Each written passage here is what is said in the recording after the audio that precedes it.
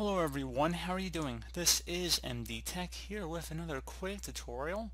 In today's tutorial, I'm going to show you guys how to resolve if your computer is coming across an error message that it cannot find the recovery environment. So this should hopefully be a pretty straightforward tutorial today guys, and without further ado, let's go ahead and jump right into it.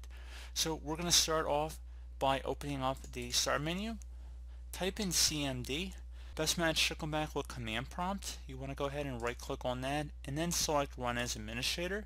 If you receive a user account control prompt, go ahead and select yes. Now we're going to go ahead and enable it if it's available. If not, we're going to go ahead and try something else. But first thing you want to do is just go and type in REA G-E-N-T-C space forward slash enable exactly as it appears on my screen. So again, R E A G E N T C space and then a forward slash enable. Hit enter on your keyboard. Should say operation successful.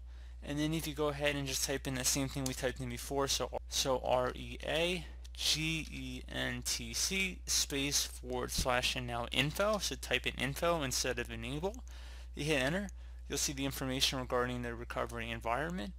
Now if you do not see any information there you will you actually have to go and create a recovery drive. So if you close out of here and you open up the start menu type in recovery. Underneath settings select create a recovery drive. Select yes. And now at this point you want to go ahead and create a recovery drive so just select next here and then follow along with the on-screen prompts about creating a recovery drive, so whether it be an external USB flash drive or something along those lines, and then you will have been able to create a recovery drive through there. So again, it's a pretty straightforward process of how to do this.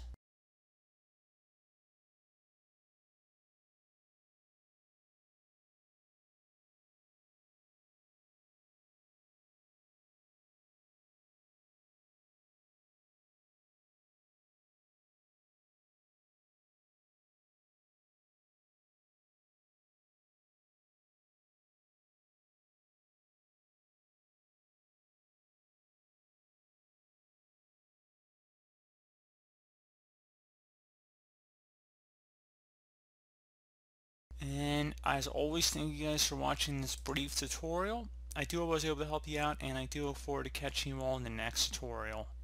Goodbye.